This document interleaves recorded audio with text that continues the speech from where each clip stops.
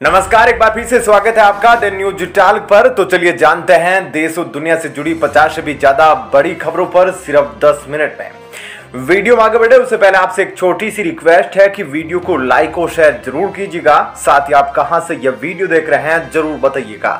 तो चलिए, बिना देरी किए जानते हैं सभी बड़ी खबरें। करीब दो घंटे डाउन रहने के बाद व्हाट्सएप सेवाएँ बहाल। ट्विटर पर शिकायतों की बाढ़। महबूबा ने सुनक का नाम लेकर केंद्र पर कसा तंज बीजेपी का सवाल। आप अल्पसंख्यक को कश्मीर का सीएम मानेंगी? सीएम भूपेश ने प्रदेश की खुशहाली के लिए लगवाए सोटे। गोरा गोरी की पूजा में हुए शामिल। गुजरात में दिवाली पर बवाल, वडोदरा में सांप्रदायिक हिंसा। पुलिस पर फेंके पेट्रोल बम पत्थर। हिरासत में 19 लोग उपराष्ट्रपति जगदीप धनखड़ आज सिरोही दौरे पर ब्रह्मा कुमारी के कार्यक्रम में होंगे शामिल। ऋषि सुनक बने, ऋषि सुनक बने ब्रिटेन के पीएम। फैंस ने क्रिकेटर नेहरा को किया ट्रोल। कोहिनूर लाने का बताया प्लान। चक्रवात शितरंग ने ली सात की जान। बंगाल में समुद्र तट पर उठा जवार भाटा। शेयर बाज़ार में खुलते ही बढ़त। सेंसेक्स दो सौ उनचास अंक चढ़कर साठ हज़ार के पार, निफ्टी अठारह हज़ार के करीब। चारधाम से लेकर कई प्रमुख मंदिरों के कपाट बंद, संगम में लोगों ने लगाई डुबकी। ऋषि सुनक के पीएम बनते ही आनंद महिंद्रा ने दिलाई ब्रिटिश शासन की याद, कहा, भारतीय कमज़ोर नहीं होते। तेज़ी से बढ़ रहे निवेशक पिछली तिमाही में सीडीएसएल में 48 लाख डीमेट खाते खुले। दिल्ली विश्वविद्यालय जारी करेगा सीएसएएस की खाली सीटों की लिस्ट। बॉम्बे हाईकोर्ट ने कहा, पति को बदनाम करना, उसे महिलावादी और शराबी कहना क्रूरता के सम्मान है। उम्मीदवारों को मतदाता सूची देने के खिलाफ याचिका। सुप्रीम कोर्ट ने भेजा केंद्र और ईसी को नोटिस। दिल्ली सरकार ने छेड़ा प्रदूषण के खिलाफ युद्ध। सड़कों पर उतरी 150 मोबाइल एंटी स्मॉग गन। गिलास के नीचे रखकर चलाया फटाका। स्टील का टुकड़ा गले में लगने से युवक की जान गई। सोनीपत में गिलास के नीचे रखकर चलाया फटाका, स्टील का टुकड़ा गले में लगने से युवक की गई जान।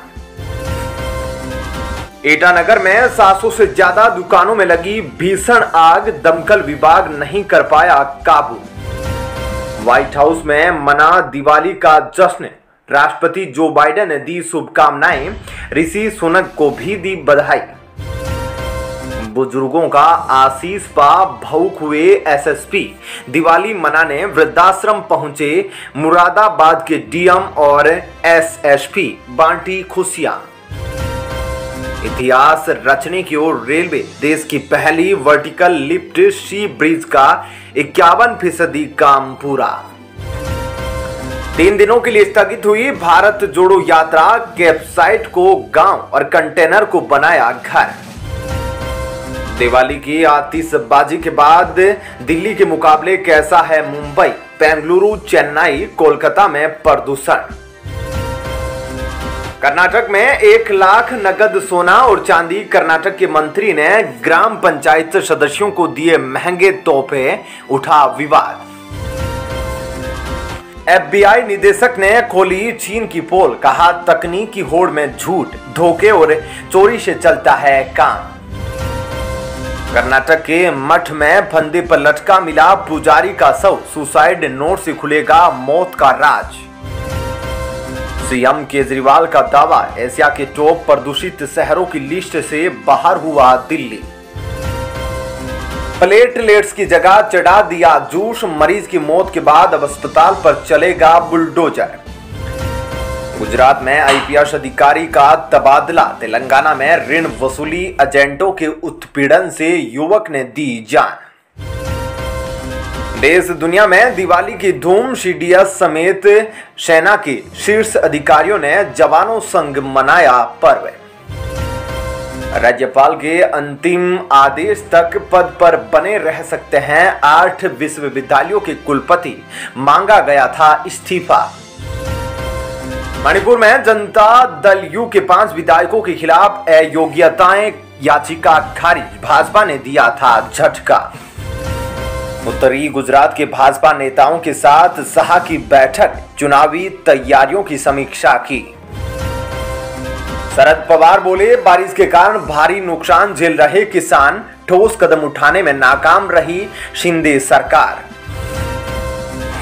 कर्नाटक में भाजपा के एमएलसी बोले कुमार स्वामी अगले मुख्यमंत्री बने तो मुझे सबसे ज़्यादा खुशी होगी.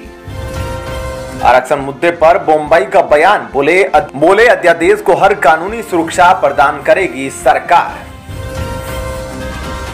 सुनक का पीएम बनना ब्रिटिश हिंदुओं के लिए ओबामा मोमेंट मंदिर के नेता ने कही बड़ी बात। अमेरिकी सांसदों ने मनाई दिवाली पर्व की महत्वता को बताते हुए सकारात्मक रहने का दिया संदेश।